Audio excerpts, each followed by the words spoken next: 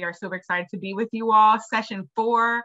We've been together for a little while now. I feel like I'm starting to get to know you all. I know who's like jumping on and love seeing everybody's face. And we have to give you double, triple kudos for coming back so quickly after our last meeting as we try to really bring this work to life. We realize we do a lot in the session, but then we ask you to do a lot afterward and I was super pumped to see, um, you know, you all record your next set of uncover protocols and go on and keep the work going and and check in with us. It's just been really nice to see you all just going in so deep. So we're really appreciative of you. And today we are going to start thinking about this idea of reimagine. And when we think about this idea we want to be in the spirit of transformation and so to start us out, before I get into our goals and intentions and all that, I would love if Shane would just read a quote from Street Data, if you have it, page 75, about the spirit of today's session. So this is the second paragraph on page 75, and it is isolating the word transformation within the cycle that we're all moving through and kind of reflecting on why that word First, a note on the word choice of transformation. It pained me to select a noun here. I agonized over the sound of inquiry, improvement, and change, but ultimately landed on transformation. As I write this, I hear the words of my colleague and friend Denise Augustine in my ear. Denise, a leader for Indigenous education with the Ministry of Education in British Columbia, firmly rejects the term improvement as connoting incremental change in the face of generational challenges. Improvement feels like we are tinkering around the edges of systemic realities that trace back to slavery, restrictive immigration laws, Native American genocide and dispossession, and centuries of exclusionary policy. We don't really need improvement. We need an approach that fundamentally and radically transforms the experiences of children and families at the margins. This is the purpose of centering street data in a process of transformation. Thank you for that, Shane. Every time you read something from the book, I'm like, dang, who wrote that? That's really amazing. and then I'm like, oh, yeah, wait, I know this person. Anyway, thank you for reading that truly because I think what it captures is what we are trying to get away from and step into today, and what we've really been trying to step into this entire time, which is not just pushing on the edges, but really full body change that gets us at meeting the needs of our kids in the ways we say we want to. And so with that, we have a couple of intentions trying to bridge together what you all have been doing to where we're going. So the first is we want to create some space to reflect on the impact of our work thus far. You all did some more uncovering over the last few days and week. And so we want to give you a chance to say, now that I've done this listening, now that I've been doing some of this uncover work, how has that changed me or transformed me? What am I wrestling with? What am I sitting with now? We also want to use your street data reflections to identify an aspect of your practice we want to reimagine. And so some of this relates to the Flipgrid that you started on. It's okay if you didn't finish, but we've started to ask you to think about where am I going to shift my, my practice given all of this? We want to start to kind of think about that. And we want to help you all use a, uh, a strategy um, to kind of bring that work to life. And so we're going to actually be introducing um, co-generative dialogues today. And so in that, we will be developing a set of design principles or pulling out some design principles, but really that outcome needs to shift. We're going to be introducing you all to, to a tool to help you reimagine based on your street data reflections.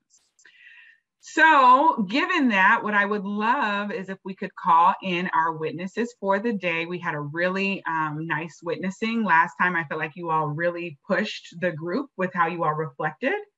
And so I'm curious from both of our schools who uh, wants to be a witness. I know we had Winter last time and we had Aaron last time. So who's going this time? Uh, I'm going to be the witness for from BVHM. Thank you, Anna.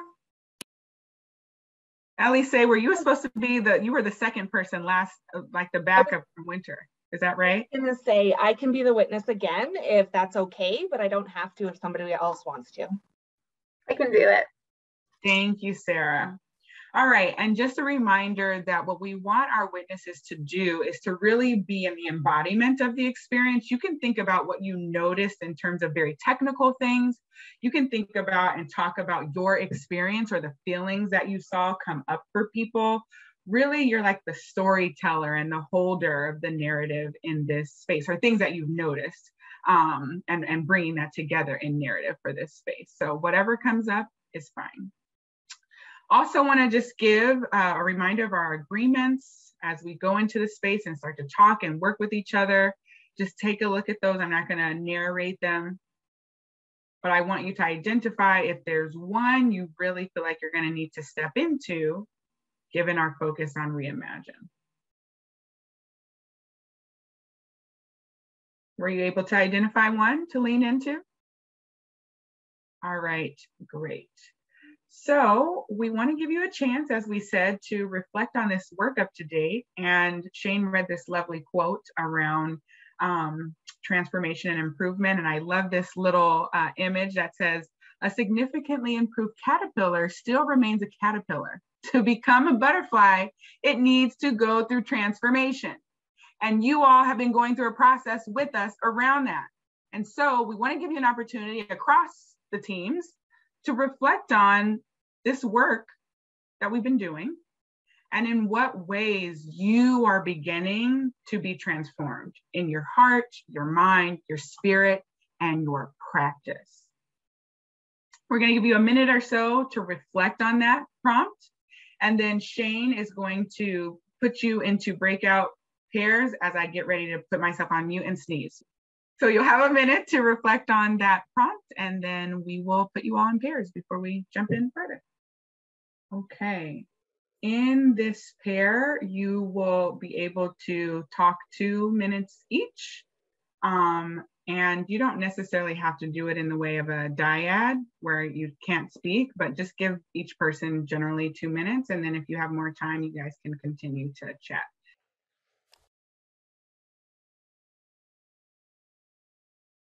Um, so we would love to hear, this was a big question around how you all are beginning to be transformed in doing this work in all these different areas of yourselves. And we're curious if anyone is willing to share your thoughts.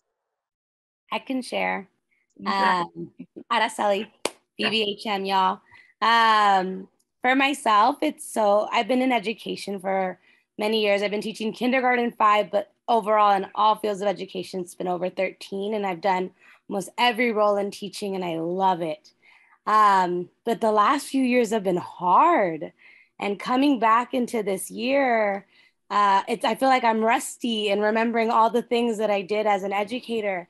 And um, you know, the other day I pulled my three students to interview them, and they were so happy to have this one-on-one time with me. And every single student wanted to be interviewed. And it just gave me a pause that I'm like, this is really that first time this year I've been able to have one on ones for anything other than an assessment.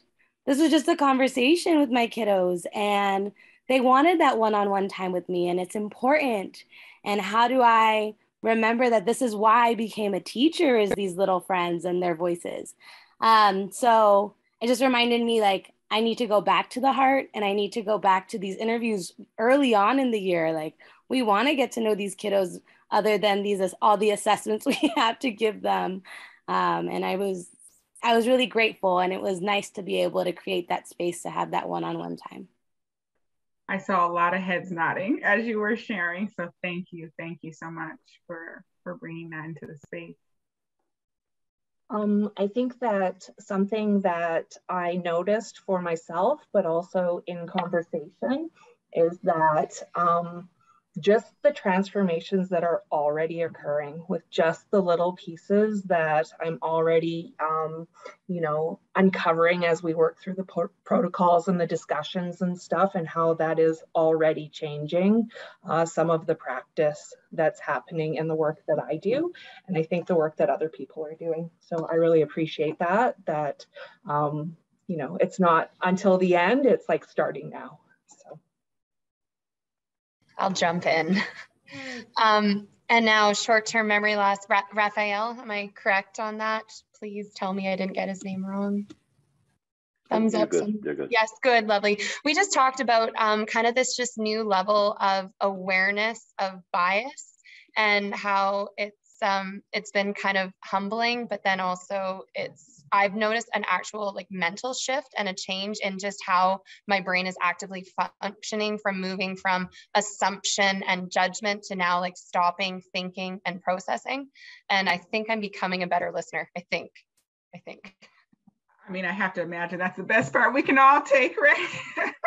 becoming better listeners. And Shane and I used to laugh and say how uh, we realized we had a lot of areas in our lives to get better at listening after doing this uh, work. And hopefully, we're better partners and, and parents for it. So, thank you for sharing, Jessica Winter and Araceli. We really appreciate that. And we know that there's a lot of transformation happening across everybody in this group. So we thank you. And for us, I wish you we you all can know all the design work. You all are inspiring.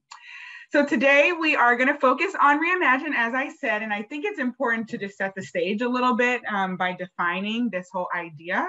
And so, as you all know, we've gone through listen, we've gone through uncover, and now is where we take this and we start to get creative and energized and start to really think what can we do with this information that our babies or our young people have shared with us. And so I am using a couple of different pages um, in the book. The whole section around reimagine it starts on page 88, but I want to pull out a couple of things from the idea of reimagining. So I'm starting here on page 89, and I'm just pulling a couple of pieces, so you don't need to know uh, every piece, but I'm going to start with this last um, two paragraphs.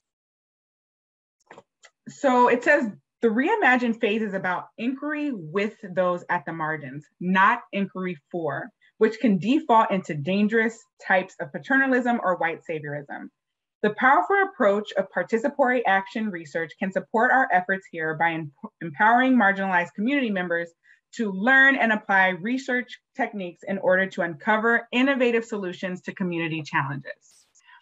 What's important here is that we are working with those we have now listened to to figure out what we can do to address the challenges that they have brought up. And in that, we have to remember that the words are reimagined, meaning no idea is too far out there.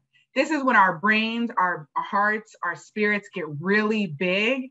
And we're thinking about this not only in a dream space, but almost like an action research space where we're going to try things that are really exciting to us. We're going to see if they work. We're going to try a little bit of, uh, again, and we're really going to go with this mindset of creativity. Another thing I want to mention, though, in this space of reimagine is what you can find on page 90 at the bottom, where it says this. The biggest pitfall at this stage is reverting to the same strategies you've been using because they're familiar, comfortable, or don't shake the table. At the reimagine phase, the rubber meets the road as you move from analyzing street data toward action. It can be incredibly seductive to stay the course with past practices, even dysfunctional ones. So the note I'm just cautioning us with is that we can get to reimagine. This actually happened with us in the very beginning. Like, yes, I want to do this. I want to radically transform. And let me just push on the edges because that's the easy thing to do we really want to be conscious of this as we start to get into some of these ideas, especially a pretty bold one that Shane is going to bring up. So hopefully that gives you all a little bit of sense of like the spirit and some of the questions Shane already um, has in here. This is from page 91 in this section. Some of the questions that might be grounding us are things like, in what new directions do the root causes begin to point us toward? Or what creative ideas and approaches are naturally emerging from our data and dialogue? And I like to just think of that as more of like the flow piece, not the like stretching way over here, but like what's just coming up for us? Like, what could we try? What could we do? Really exciting and spirit of creativity. So, to do that, to kind of slow walk us into that, we want to think about first design principles that we might hold when we're thinking about reimagining. And Shane wrote this book called The Listening Leader a while ago that I actually like to think about few simple rules and design principles from. And so, just to define this, design principles can be simple principles to guide our actions, decisions, and ways of being. It can be really easy to go like, just make everything very difficult and complex when really what can be powerful and guiding us is simple things that we just want to hold on to as we're operating in this work. And so you're going to get a chance to see a teacher doing some reimagining with her kids. But really, in this first example, we want you to think about or be able to pull out the design principles, the ways of being she might be committed to as she's doing the reimagining phase with her children. When you watch this clip, you're going to have the opportunity in your teams to kind of think about what you saw and see if you can derive two to three design principles that she may uh, have had with her kids. Or I think the opposite, maybe. I think they're actually going to pull them out. Share out. Yeah, share them out. And then go create. Design. And then create them. My apologies. All right. Can you just say a word about the video? Yes, please do. Okay, y'all. So this video is fresh off the press. It is still being edited, in fact. So you all are frontline viewers. Um, we I linked into your homework the YouTube link where this is uploaded because we're going to ask you to watch. It's only 12 minutes long, but we don't have time to show all of it. We're going to show three short clips during the session today, and then a uh, request that you watch it all because um, it's kind of instructive around this process um, as part of your homework. But just to set the stage for what you're going to see now, this is Gwen Larson. Um, she is a dear friend of mine and a veteran teacher in Long Beach Unified School District, so in Southern California. Um, this is, she's with five students from a ninth grade class, English class that she teaches. And um, this part you're watching, it is part of a co-generative dialogue, and we'll come back to that a little bit later and unpack it. But I don't want you, at this point, we don't really want you to worry about the technicality of like the process so much as just, as Jamila said, like noticing how she shows up. What are her ways of being and are there kind of invisible principles that you think are informing how she moves is that enough jamila i think that's enough okay here we go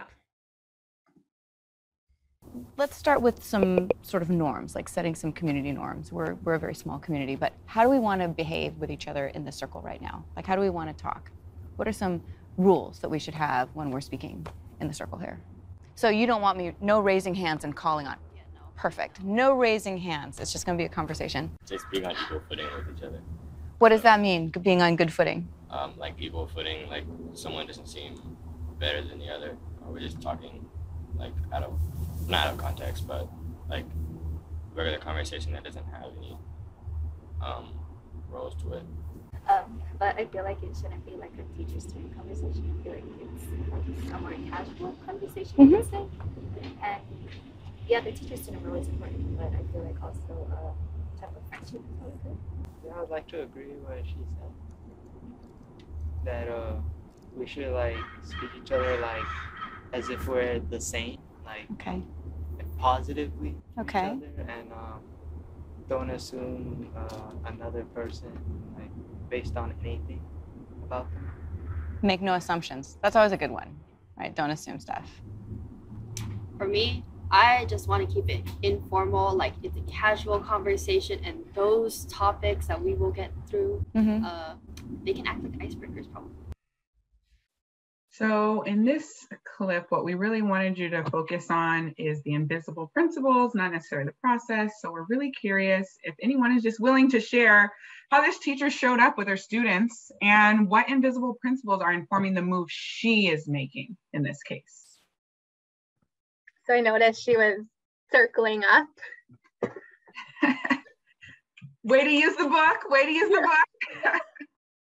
um, also, she was asking questions like, what norms um, do you all think we should follow? I noticed her reflecting back what the kids were saying a lot or or paraphrasing it. Yep.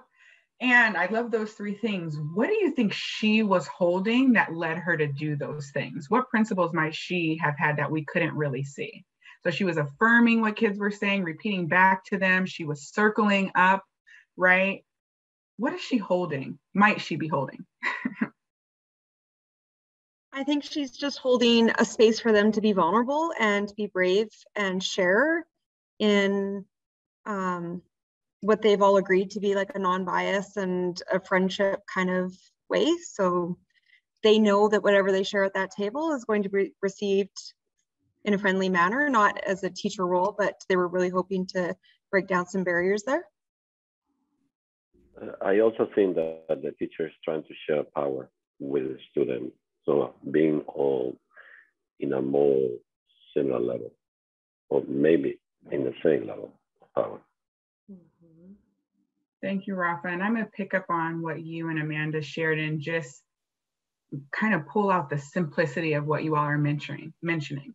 Simple rule for her design principle might be create the space to share power. That might be a simple principle. Or nurture a space of vulnerability, right? Just some things that this person might be holding as they're with their group of students so that they're holding themselves accountable to really be in the space that they say they want to be in as they reimagine. It's really easy for us to revert back in our practice as well. So thank you for that. And it just reminded me, I wanted to make a connection to the case study that um, Shane shared last week with how the design principles kind of make um, us think about epistemology. And so Shane, if you can go to the next slide, we were talking about the response to the Abbotsford situation and the ways of being that people could choose. And so when you saw the Western ways of being on this right side, performative expertise is value. So a design principle somebody could have is like, talk to those who have expertise, right? Center expertise mm. could be a design principle. Whereas when I think about indigenous ways of being, it might be stay calm and thoughtful, like stay calm.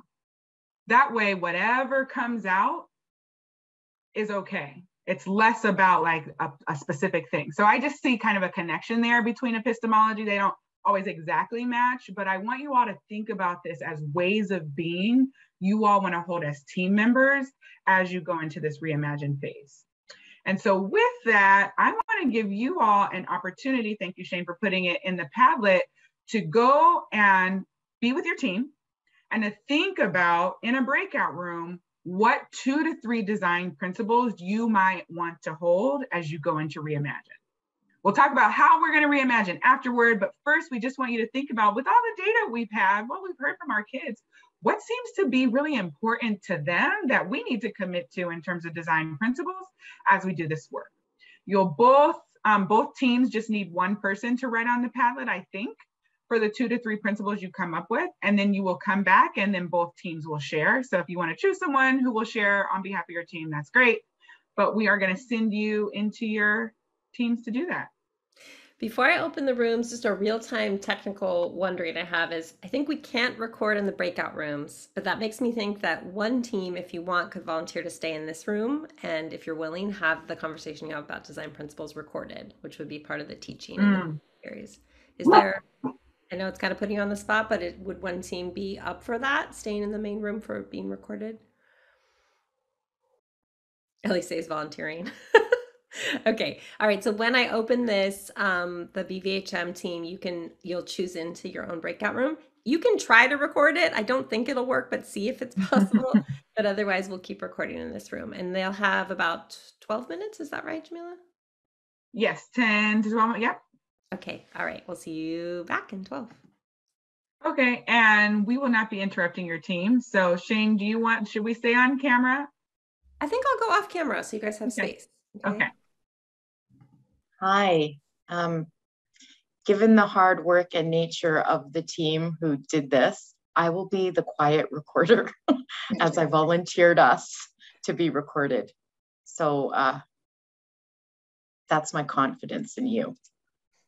Well, should we just feed off of what was shared right back then in that last little session? I really like the whole like the balance of sharing power and creating a really authentic genuine safe space as a design principle. You know sitting sitting in circles and circling up it's using that more and more. It's so powerful. And when the kids actively say like no one's better than anyone else everyone has something worth sharing um, even just noticing like emotions and anxiety like plummets almost instantly. They don't have that same level of concern sharing. Like it's just freed up the space. And i think they feel a lot more heard and a lot more powerful their voices. I don't know. So i like that as a design principle. Can't stop thinking about our conversation yesterday about and how she was like really holding on to some of those negative experiences. And so circling up with a different connotation of just like always revisiting and making sure that students feel heard, problems feel solved, like ongoing dialogue potentially as the design mm-hmm. principle. Mm-hmm. Yeah, I think that's valuable, especially if that's perhaps the first time that they're being vulnerable to an adult in the school. So just re reconnecting with them a few days later. Yeah, I agree. Just to build off that, I pulled from that slide from the Abbotsford the Indigenous Ways of Being and just that relationality is key because I think that we're feeling that as we get into these empathy interviews that they're opening up and they're engaging if we have that relationship, right? And I guess this kind of goes along with the create space to share power, but just really intentionally going in to listen. Um, so as much as possible, like it, she gave, like in that video, she gave them the space right away to share. So doing, yeah, doing our best to to give them the space first and foremost, and just to be a listening partner. I really like the language that she used. Like she didn't use the, she followed up and used rules, but she said community norms. Like that's just a very neutral, lovely, like tone and words. And we were talking yesterday about how certain words really can, you know, set off certain kids and, you know, just, you know, the words that we use really can have either a very positive or very detrimental um, effect. Like Amanda, you made me think about the first people's principles and just like the identity piece. So valuing identity, like these kids are telling us things about themselves, like thinking about my own interview, like I'm a friend to all, and like, well, I'm a slow responder, whatever the word was that had used. But like, if that's their identity, then just like, I hear you, I see you, mm-hmm. I expect you. Yeah, because we talked about hearing that with to that desire for inclusiveness across the board, right? And just seeing them as humans. Mm-hmm. Wanting to be acknowledged. Yeah. We're going to have to pare this down to two or three. I think that we have brought up that deep listening numerous times in our conversations yesterday and today that it I'm seeing a pattern in all of us recognizing. So that could be one of our starred ones.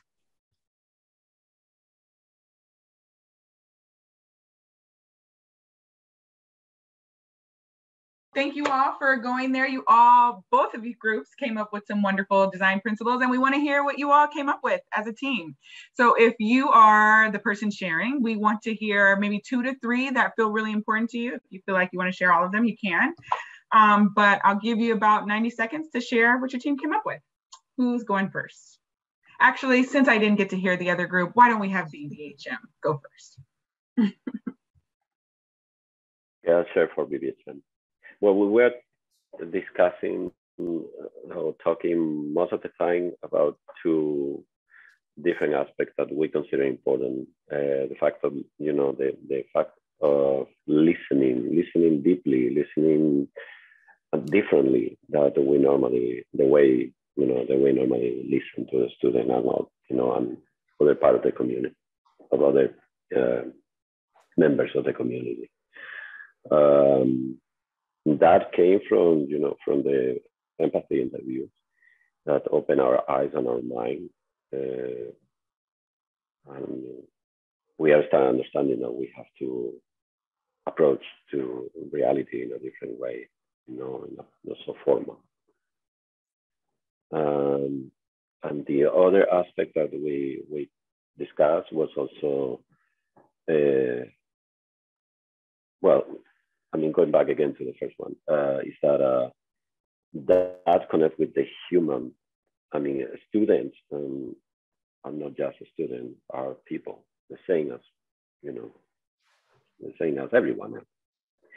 Um, we have to work on that on that field. Don't forget about the you know the technicality of the, the we are the teacher, you are the student, or with the parents or the administration, all these you know roles not sometimes uh, impede us to, to see, you know, what we really have in front of us.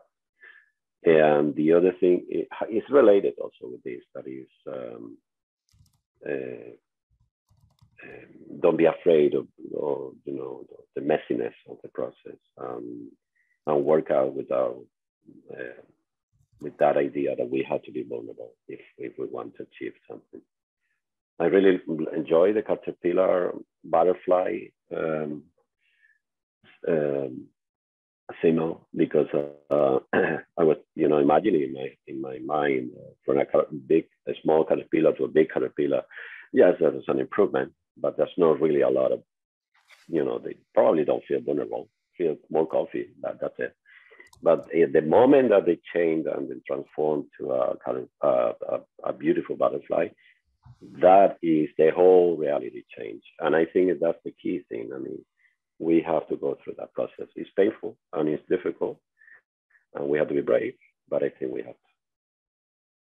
All right, Rafa, thank you for sharing BBHM. I appreciate it. And CNB, what about two maybe that stand out for you all? Yeah, absolutely. Thank you. Um, thank you so much for sharing, uh, Rafa. I think we really connected on that level of definitely deeper listening.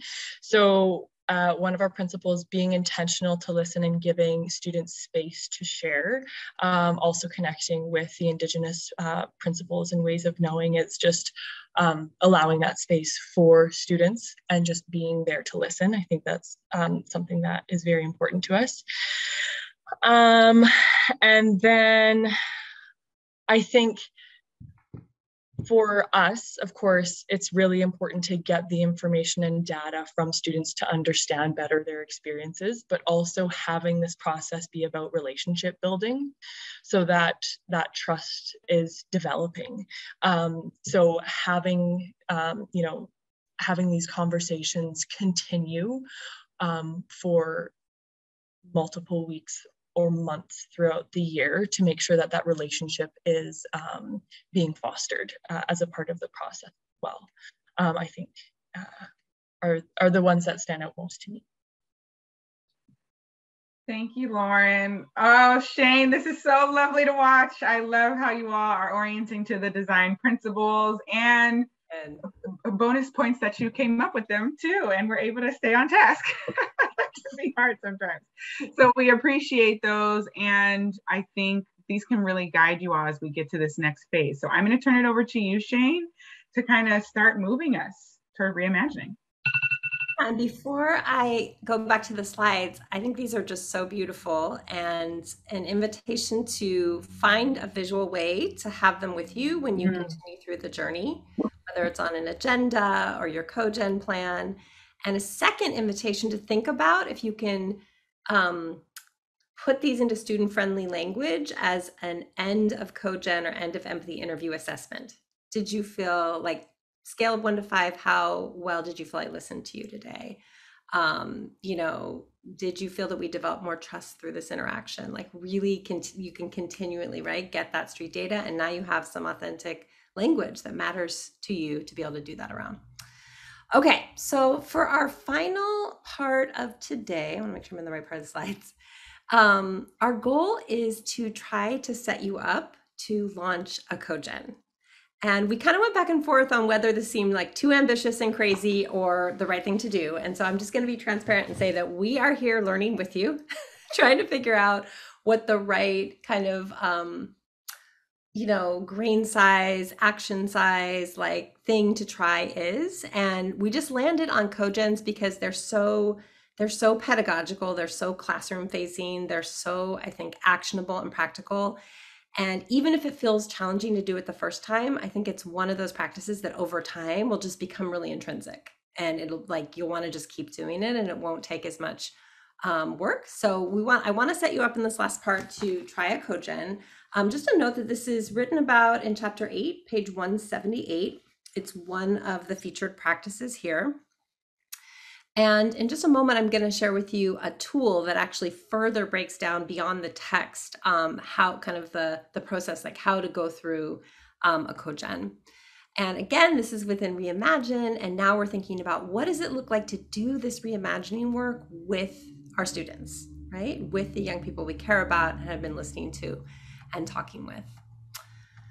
Okay, so we're going to go back to the video. And the first part that I will share with you is a little riff from our friend Dr. Chris Emdin. Um, folks know his work, he wrote um, for White Folks Who Teach in the Hood and the rest of y'all too. And then more recently, he published a book called Ratchetdemic. And he wrote, of course, the foreword to Street Data, which I just think is a gorgeous piece of writing. And um, you're going to hear him talk a little bit about cogens because this idea came out of his first book. So we wanted to attribute to him, but also he speaks just so powerfully about the origins of it. So just listen for kind of the what at this point. So we're kind of wrapping our heads together around what this protocol, this process, this tool is and where it comes from. Cogenerative dialogues, for me, you know, they're birthed out of again street data I, I, you know i didn't have the language to describe this stuff until y'all wrote this dope ass book you know um you know, I, I would look at young folks in hip hop ciphers and I would watch them position themselves in circle, equidistant from each other. Um, one person rhyming, one person finishing another sentence, this really deep listening to each other, beats in the backdrop to create a rhythm to the conversation, collective effervescence when everybody finished each other's sentences. And at the end of it, they all became family and they were preparing for the next time they would meet. And I said to myself, the cipher is such an organic, generative way to engage in conversation and create community and get instant feedback about how you're performing or not. How amazing would it be if young folks can do ciphers in classrooms? And I, I didn't have the language to describe it as cipher, but the but then we started utilizing a framework from Ken Tobin, my doctor advisor, and some other folks. We were working. I was like, yo, this cogenerative dialogue, if we structure it like a cipher, have kids in the class give feedback to each other and their teacher about how they're experiencing the learning. And then not only just giving them feedback, but then saying, let's co-generate a plan of action for fixing that thing. And so the beauty of cogenerative dialogue is that it's a practice that everyone can implement, but the results of the dialogue will vary based on your school. That's street data. I knew I wanted, uh, this was an opportunity to talk to kids and to, to, hear their voices. So I went to the quietest corners of the room and I picked the four kids um, uh, from whom I have heard the fewest number of words since the beginning of the year, and those were these students. And I've given them surveys, feedback surveys. I gave a survey to sort of do a map, map level, Shane calls it, map level data, um, and ask them questions about my pedagogy, about classroom culture, about being part of a team. And under the teamwork category, a couple of them were, my question was, do you feel like you're part of a team? Do you feel like we are part of a community? Uh, do you feel comfortable with the people you're with? And three of the four kids were like, not so much. So that was another way that I selected the kids for the Cogen. So I want to open it up to you all just to share anything that stood out to you or that excites you about this idea. Um, I'm going to share one more clip, but first pause just to chew that content together and hear from you. It stood out from Chris's description um, and or how Gwen talks about it with respect to her class. Jessica says family, the word family. I love that. Trying to create a different kind of dynamic with students, right? That's more personal, connected. What else stood out or excites you about this? Okay, I'll go again. Sorry. Um, I love, so we're constantly taught, um, you know, reflective practice, but how often do we go back to the stakeholders and back to the kids to say, how did I do? We sit in our own minds and our own reflections, like, how do I think it went? Going back to the kids to getting their authentic survey. And then that, that would be really, really cool. I love that. Thank you for that. And I think that's tying back to Jamila's quote about the caterpillar, right? That's the opportunity for transformation so if we do the deep listening, but then we're only rely on our own schema or our adult collaborative to redesign and reimagine, there's just naturally limitations, right? And so here we're letting go of being the experts, as Jamila described, and we're saying, we're going to be able to do this better in partnership with you all. You're going to have some ideas that we can't really imagine right now. Um, let's see in the chat, Elise says, deliberately going to the margin. She selected the quietest students. Yep. Aaron, being vulnerable to hear that what you're doing might not be working for students.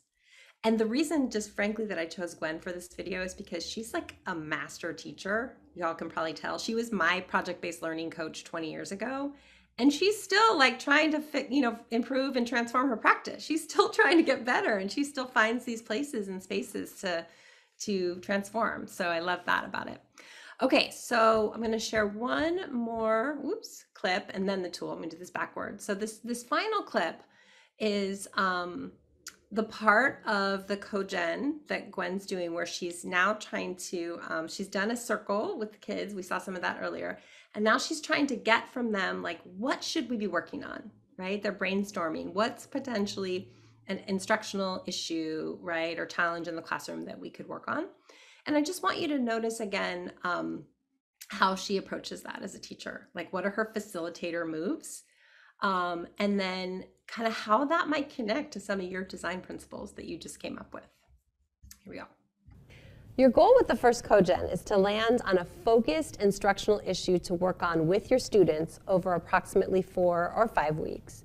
That said, I recommend that you begin with an open-ended brainstorm of possible instructional issues to work on before narrowing down to one. You can use a whiteboard or post-its to ask students to help you generate ideas for focus areas. Ultimately, the narrower the focus, the better, because you want to create a sense of efficacy by seeing real growth and movement in a short amount of time. Okay, people are gonna hate me for this. I feel like people are already, I can already hear the, the complaints. Presentations are like the only way to get people talking if they do presentations. And I'm not saying it has to be mandatory, but I think having people actually do presentations, like Leilani, your presentation was great. So if you could just make more presentations, if, if we had more presentations, or like if we actually presented the projects, then um, that would be that would uh, that would be a way to get other people speaking, and the five people would kind of have to speak. I know it's kind of, it sounds kind of mean, but it's true. It's that's how you do I, it. I agree because in actual like real life, we're gonna have to communicate with many people and create allies through many things, and um, we're gonna have to learn communication skills skills if we like it or not Mhm. because i mean it's a core part of our society as people Right. It sounds like we're kind of gravitating towards these two, right? This one, how how to get more kids. It sounds like you're already brainstorming possible answers to this. So this one, and then how to share the spotlight, like Leilani's, you know, put forward. So I think those two kind of go together. Like, can we make those our goal for this for this meeting to brainstorm? Okay. Okay, that's our final clip for today. But again, you'll have access to the whole 12 minute video. Um, so, anything before we transition into sharing the tool and just giving you a little um, space to think on your own, anything else stand out here or ways you could see this connecting to your design principles? I just think this whole process connects to our design principle of like, don't be afraid for it to get messy.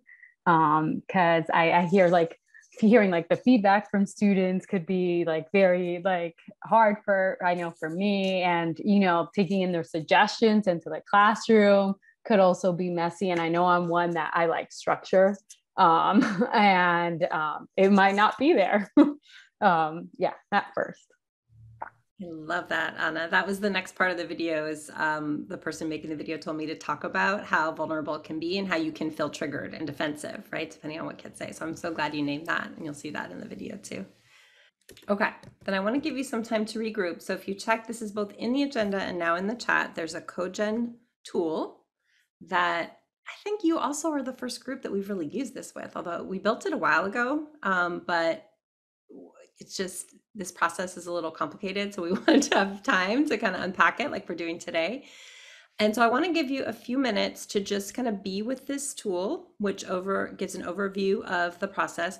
I do want to say for um, the admin who are here, I mean, you may want to go through this as well. You may want to use this same process with, you know, around school culture, right? With our BC colleagues have been really grappling with like behavior and how do we deal with some of the kids who are like acting out and struggling. And so you could totally do this. And then, of course, teachers, you're focusing on a practice, you're thinking about a classroom level issue. Um, so spend a few minutes with this. And the lens here is to be thinking um, just frankly about, you know, who you would tap um, when you would have a first meeting. Our, our invitation is to try to have one cogen meeting before we regroup, which is like May 11th. So it's about three plus weeks from now. So to think about who and to gather those students for the first time, like you saw Gwen doing, um, between now and when we meet again. So you have that data to bring back. And I think I'll just be quiet for a few minutes and then we'll have a chance to share and kind of cross pollinate what ideas are coming up. Jamila, anything you want to add here? Yeah, just adding that for hopefully some of the kids you choose are the ones that you've started to work with in your listen and uncover. Um, and really one of the most, I think, valuable pieces of this is it's the going back, right? So you listened to me and you got my thoughts on what my experience is. And now what are you going to do about uh, about it? Well, you're going to reimagine with me. Okay. I feel like you're really listening to me and you care about my thoughts. So I think if you definitely start with the kids that you've already spoken to, maybe it might shift, you know, and maybe there's a broader group, but I certainly would encourage you all to think about that because um, we want them to be the people who hold us accountable or measure our success at the end of it. So thank you.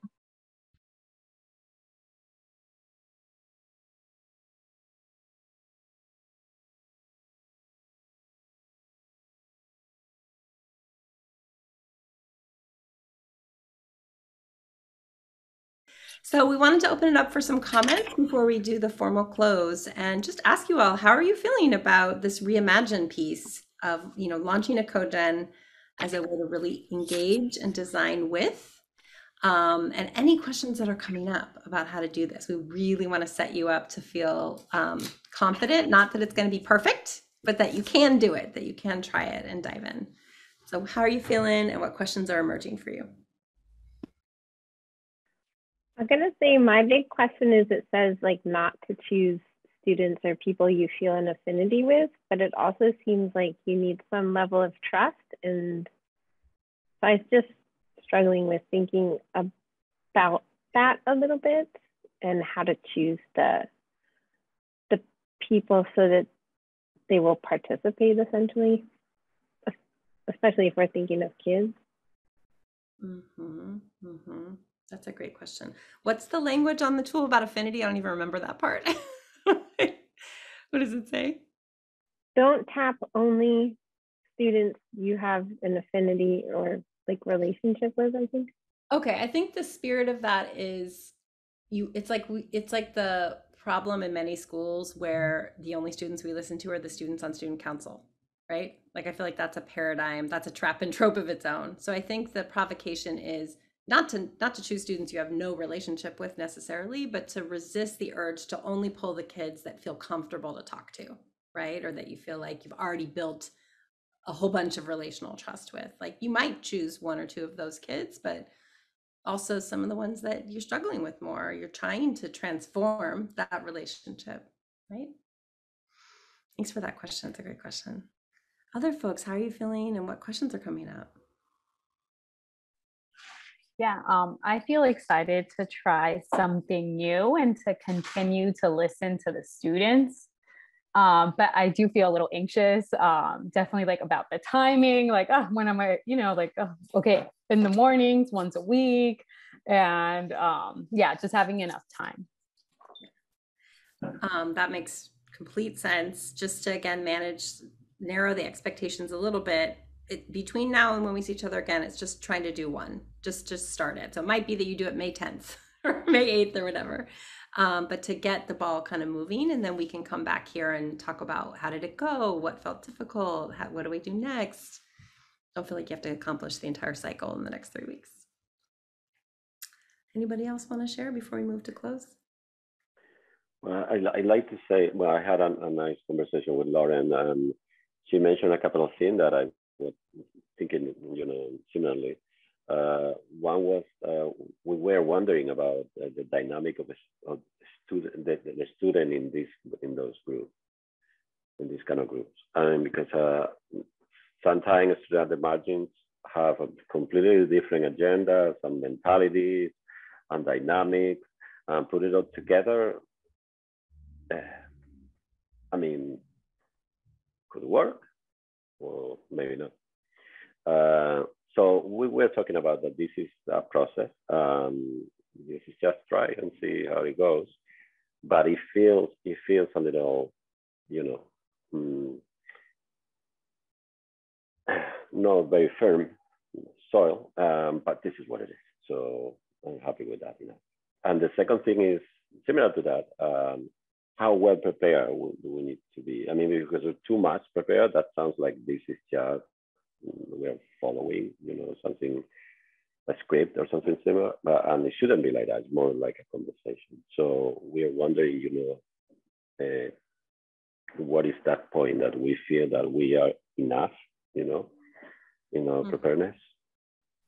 It's a good question. Yeah. I mean, I would encourage you all, if you can, to meet again as a team in the next week or two and to think about, especially that second question, right? Like, is there a baseline of structure, you know, some common questions we want to ask? You have an agenda in the tool, right? But you don't need to follow it lockstep. All of this is adaptive work, right? So you get to you get to hybridize that, you get to adapt and change that and make it yours um, and we trust you you know you're here for a reason so you all are going to have things you can inject and infuse into that that'll make it different and and really local um, but i think that would be a great question to to ask the team together if you're able to maybe I'll watch the video I'll look at the tool and then kind of come back together in a week or so shane if you don't mind me just adding a, t- a couple of things about that because i know like it's a thing you have, you have to make happen first of all i would offer just to both of your teams if you want a time to just ask questions more thoroughly to help you structure it, I'm I think we're happy to create that space for you. So just email and then we'll make a time to do that. And then the second thing is that um, for each of you all, you don't have to go so big. So you both have things you're focused on, student engagement, is one for BBHM. I can't remember the one for a CBN, but you both have areas. So you can start with that area and say, I'm trying to think about how to improve student engagement. You know what I mean? You can just say that, right? And say, I'm trying to figure out how to do that. What's an issue that we might solve together, right? It doesn't have to be like, here's this thing that we're doing. The video is just super sexy. That's what, you know what I mean? But when you get to it, you can bring the stakes way down, right? And give them the frame of what you've been working on help me figure out an issue and let's just go crazy on this chart paper and that's you know that's and let them go and then you know beside that when they if they get off track just do what you do as a teacher. You better sit yourself down and get back to this conversation we having right now. You know like read whatever you do to redirect kids. It's it's bring, bring it down. Just let it flow. And we're available if you need help. Thanks shane. Yeah for sure.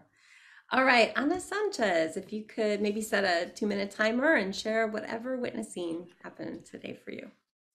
Um, sure. Uh, I felt like today was very much a day of learning and processing. And so I want to just name a couple things that I thought were really powerful. I thought starting with a reflection, like starting to think uh, how are we already starting this learning process and thinking about our own transformation was really um, helpful. And then um, I really appreciated, or actually, I think everyone really appreciated the image of the caterpillar and butterfly. I heard multiple people bringing that up again and again. So I think having that anchor image really supported people's learning and also their conversations. Um, noticed a bunch of different ways at, at BVHM. One of our norms is respecting different learning styles, and there was a bunch of ways to learn. Like there was a Padlet, there was a video, there was conversations, there were dyads. Um, so whole group conversations. I think all those different formats allowed for folks to process in their own way and to gain access.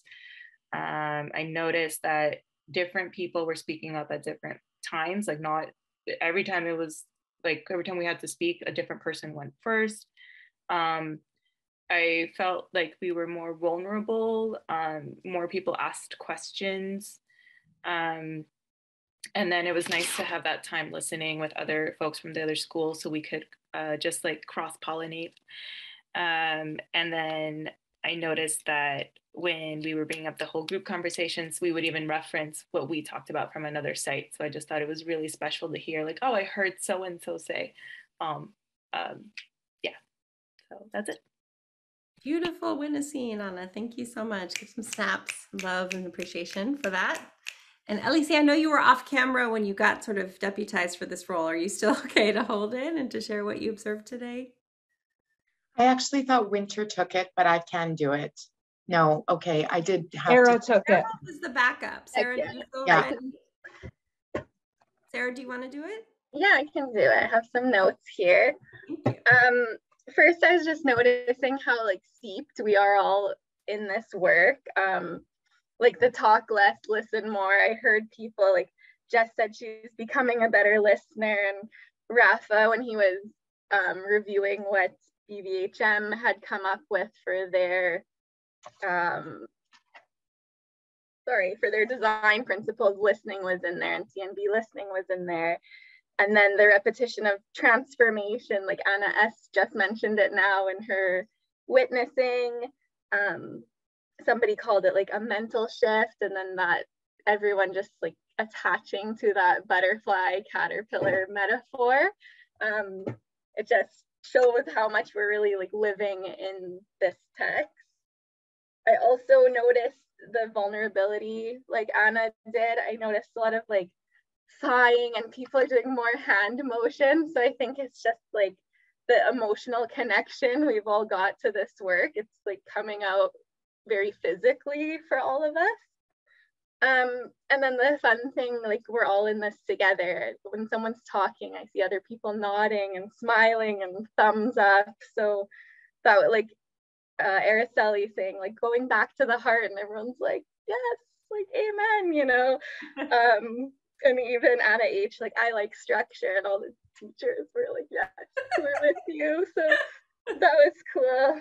Um, wait time by our fearless leaders. I think that really encouraged more conversation, different people speaking. So thank you for that.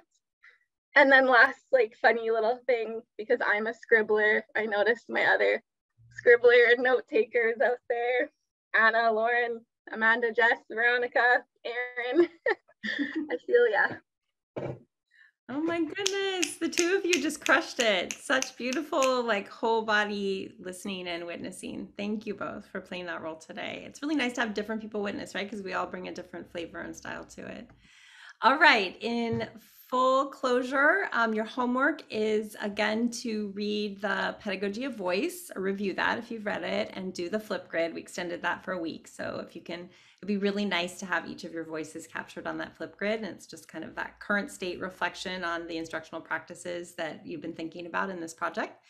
Um, and then as far as the cogen, to watch the video, um, you've seen already about half of it. So you can watch just the pieces you haven't seen if you'd like debrief as a team, and then do your best to do a first cogen with a group of students um, before we meet again on May 11th.